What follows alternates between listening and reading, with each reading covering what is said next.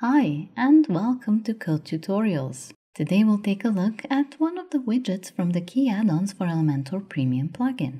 The widget we'll be looking at is the Interactive Project Carousel. With it, you can create textual carousels that respond to both hover and scroll, and in different ways too. Essentially, when you hover, an image pops up, and the different images are attached to different bits of text so you can create connections between different types of content. Moreover, you can scroll across this element and the text will shift to reveal different parts of itself.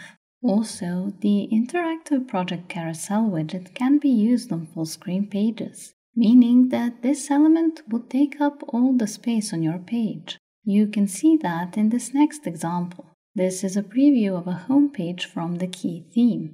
There's a link below if you'd like to take a closer look at that page. You can also use the interactive project carousel as one page element among others, like the example here. But then you should keep in mind that scrolling across it will both shift the carousel and shift you down the page. So it's up to you to decide which use would work best for you and your site.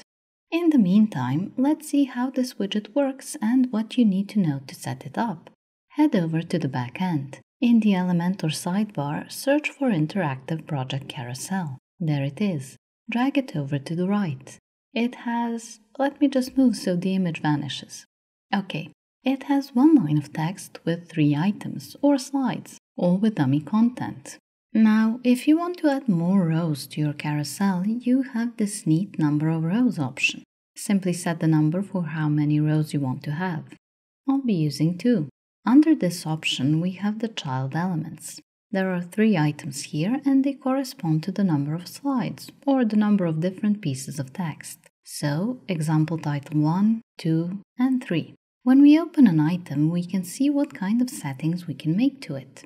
For starters, we can change the content. It involves replacing the title. That's this bold text here. Then we can replace the subtitle. That's this text here. Then we can replace the image that appears on hover. So, let me add my content in place of the dummy one. I'll replace the title first. Give me a second to type it in. Okay, then the subtitle. Just a moment. There it is. And finally, the image. Simply click on this field. Then you can upload something or pick an image from your media library. I prepared my images, so I only need to select the right one and insert media. Alright, first item content done. After that, we have the link field. This is where you can set any URL you like, and visitors will be able to access whatever you linked by clicking on the title text for this item. I'm going to set a hashtag here as a placeholder so the item will look linked. Then we have the image maximum width. This option allows us to set the display width of our chosen image. For this, let me clear it. I'm going to switch to percentages and set 9. Alright. After that, we have the vertical offset option. As you can see, it lets us move the image up and down. I'm happy keeping it on its default settings, so I'll clear this. And then we have the horizontal offset as well, if we want to move the image left or right. I'll switch to percentages for this and set 9 for the value. And those were all the item options we have. I'm going to skip ahead now while I customize the remaining items and add a few more besides. Okay, here we are. I have six items in total, and they're all customized. So that part's done. Now, if we look under the items, we have this option, Image Animation. With it, we can pick the appearance animation for the images. The default setting is fade, so if we look, the images fade into being when we hover over a bit of text. So that's one option. The other is fade from bottom, and that looks like this. Still a fade in effect, but with a twist. It's nice, but I'll stick with the simpler fade. Okay, after that we have a different section, the developer tools.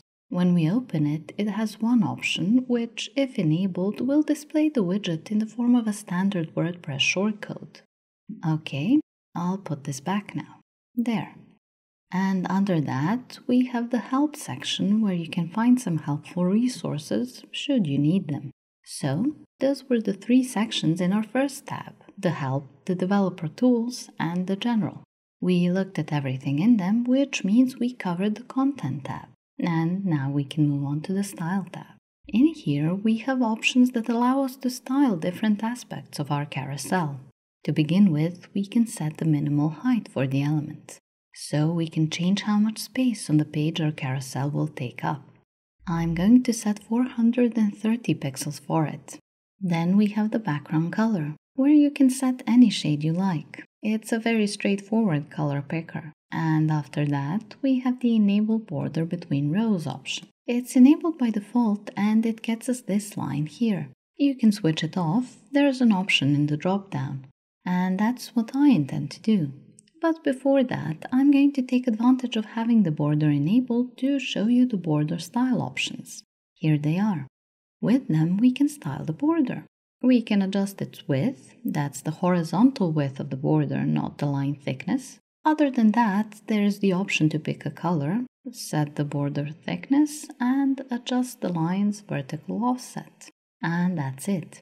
Let me go back to the start and disable the border as I don't plan on using it.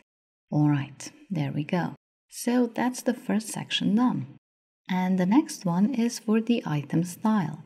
Here we can pick if the items, specifically the subtitles, will be aligned to the top, the center, the bottom, or to the baseline, where their bottom and the bottom of the title will be aligned.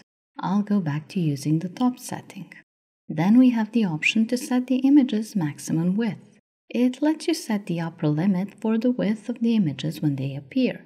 I won't be changing anything here as we had an identical option within the items options earlier. And since I set the width for each image individually, I don't need this option that will let me set the width for the images as a whole. So after this, we have the image's vertical position option. By default, when the images appear, they're in the middle of the element height. We can switch that for the top, and then the images will appear at the top edge of the element. Or we can set them to show up at the bottom, which will look like this. The bottom of the images touches the bottom of our element. For my part, I'll keep the middle setting. Okay, there it is. After that, we have the image horizontal position option. By default, it's on the right, but we can set it to be on the left, so it looks like this, or it can be in the center, and that looks like this. I'm going to set mine to be on the right. There it is. Perfect. So we set the image position, but if there are some adjustments we want to make to that, we have the offset positions to help us. The vertical offset lets us move the image up or down. A larger value will push the image downwards, and a smaller or even negative value will push the image upwards. I'll clear this as I'm happy with the existing setting. And then we have the horizontal offset, which will allow us to shift the image left or right. I'm not making any changes here because I already set values for image horizontal offset earlier when customizing my items. That's the option you can find here. Anything you set in the item options will overrule the more general style setting. But as you can see above, I didn't make any changes to the vertical offset and that's why it worked when I showed it to you in the Style tab a moment ago. Alright, let's get back to where we left off.